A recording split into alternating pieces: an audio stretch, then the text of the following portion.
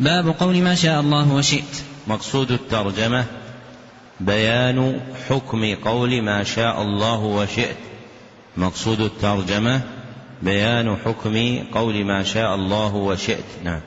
أحسن الله إليكم. قال رحمه الله تعالى عن قتيلة أن يهوديا أتى النبي صلى الله عليه وسلم فقال إنكم تشركون تقولون ما شاء الله وشئت وتقولون والكعبة فأمره النبي صلى الله عليه وسلم إذا أرادوا أن يحلفوا أن يقولوا ورب الكعبة وأن يقولوا ما شاء الله ثم شئت. رواه النسائي وصححه. وله أيضا عن ابن عباس رضي الله عنهما أن رجلا قال للنبي صلى الله عليه وسلم ما شاء الله وشئت فقال أجعلتني لله ندا ما شاء الله وحده. ولابن ماجه عن الطفيل أخي عائشة لأمها قال رأيت كأني أتيت على نفر من اليهود قلت إنكم لأنتم القوم لولا أنكم تقولون عزير ابن الله. قالوا وإنكم لأنتم القوم لولا أنكم تقولون ما شاء الله وشاء محمد.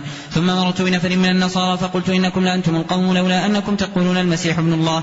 قالوا وإنكم لأنتم القوم لولا أنكم تقولون ما شاء الله وشاء محمد. فلما أصبحت أخبرت بها من أخبرت ثم أتيت النبي صلى الله عليه وسلم فأخبرته فقال هل أخبرت بها أحدا؟ قلت نعم. قال فحمد الله واثنى عليه ثم قال صلى الله عليه وسلم أما بعد فإن طفيل راى رؤيا أخبر بها من أخبر منكم وإنكم قلتم كلمة كان يمنعني كذا وكذا أن أنهاكم عنها فلا تقولوا ما شاء الله وشاء محمد ولكن قولوا ما شاء الله وحده. ذكر المصنف رحمه الله لتحقيق مقصود الترجمة ثلاثة أدلة فالدليل الأول حديث قتيلة بنت صيفين الجهنية رضي الله عنها أن يهوديا أتى الحديث رواه النسائي وإسناده صحيح. وتصحيح النسائي ذكره ابن حجر في فتح الباري. وتصحيح النسائي ذكره ابن حجر في فتح الباري.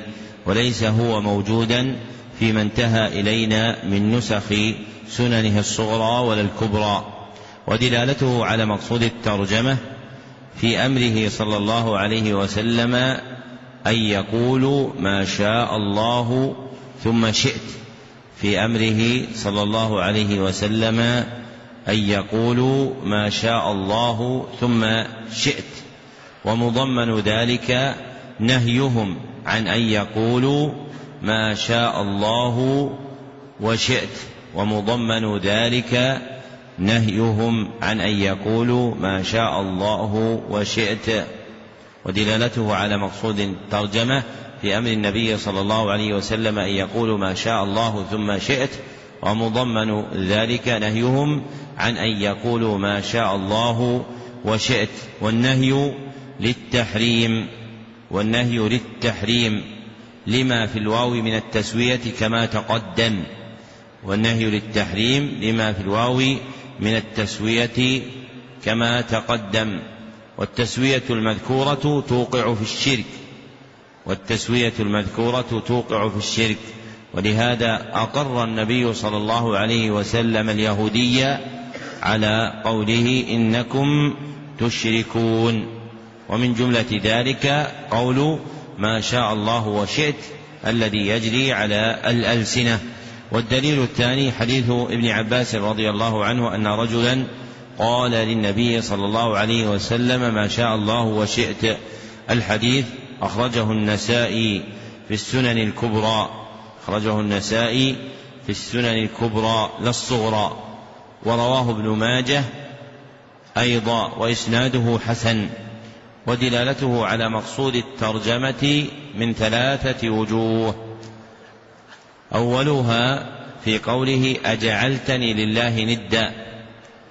أولها في قوله أجعلتني لله ندا أي بقولك ما شاء الله وشئت أي بقولك ما شاء الله وشئت.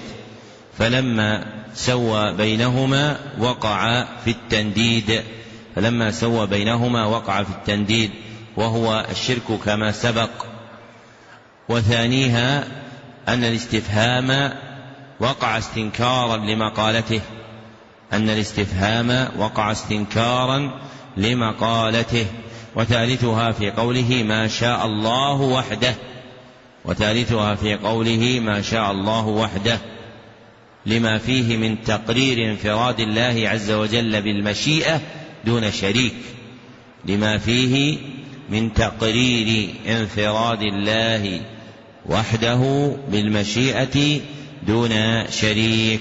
والدليل الثالث حديث الطفيل بن سخبرة رضي الله عنه أخي عائشة أم المؤمنين رضي الله عنها لأمها قال رأيت كأني أتيت على نفر من اليهود. الحديث رواه ابن ماجه وإسناده صحيح. ودلالته على مقصود الترجمة من وجهين. أحدهما في قوله فلا تقولوا. ما شاء الله وشاء محمد. أحدهما في قوله فلا تقولوا ما شاء الله وشاء محمد.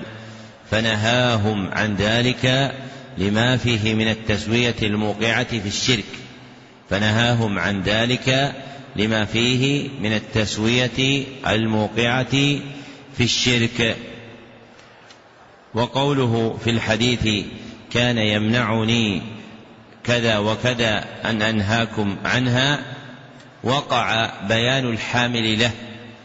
في رواية عند أحمد قال كان يمنعني الحياء أن أنهاكم عنها كان يمنعني الحياء أن أنهاكم عنها وأراد بالحياء استحياؤه من ربه وأراد بالحياء استحياؤه من ربه أن يبتدي نهيهم عن شيء قبل نهي الله له أن يبتدي نهيهم عن شيء قبل أمر الله له بأن ينهاهم قبل أمر الله له أن ينهاهم. مما يدل على كونه أصغر لا أكبر. مما يدل على كونه أصغر لا أكبر لأنه لو كان أكبر لكان مناقضا أصل دعوته صلى الله عليه وسلم. لأنه لو كان أكبر لكان مناقضا أصل دعوته صلى الله عليه وسلم فلا يتلجلج ولا يتوقف في النهي عنه. والآخر في قوله ولكن قولوا ما شاء الله وحده. والآخر في قوله ولكن قولوا ما شاء الله وحده. امعانا في تقرير انفراد الله عز وجل بالمشيئة. إمعانا في تقرير انفراد الله سبحانه وتعالى بالمشيئة. وهذا غاية الأدب في التوحيد. وهذا غاية الأدب في التوحيد. فإنه كان يسعه أن يأمرهم بأن يقولوا ما شاء الله ثم شئت.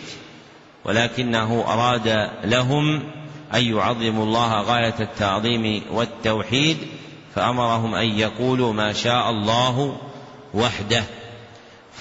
فصار ذكر المشيئة له حالان. فصار ذكر المشيئة له حالان. الحال الأولى إفراد الله عز وجل بها. إفراد الله عز وجل بها. بأن يقول العبد ما شاء الله وحده. وهذا غاية التوحيد.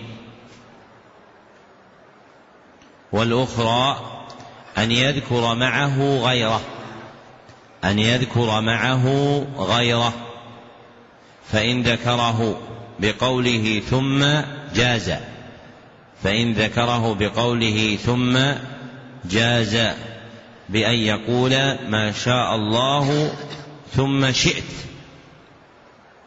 وإن ذكره بقول وإن ذكره بذكر الواو وإن ذكره بإثبات الواو منع منه وكان محرما كأن يقول ما شاء الله وشئت. نعم. أحسن الله إليكم. قال رحمه الله تعالى فيه مسائل. الأولى معرفة اليهود بالشرك الأصغر. الثانية فهم الإنسان إذا كان له هوى. الثالثة قوله صلى الله عليه وسلم أجعلتني لله ندا. فكيف بمن قال يا أكرم الخلق ما لي من ألوذ به سواك والبيتين بعده. الرابعة أن هذا ليس من الشرك الأكبر لقوله صلى الله عليه وسلم يمنعني كذا وكذا. الخامسة أن الرؤيا الصالحة من أقسام الوحي. السادسة أنها قد تكون سببا لشرع بعض الأحكام.